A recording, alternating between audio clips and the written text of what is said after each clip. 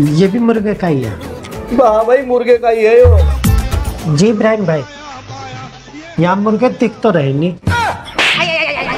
भाई इसमें ताजे मुर्गे ही तो हैं।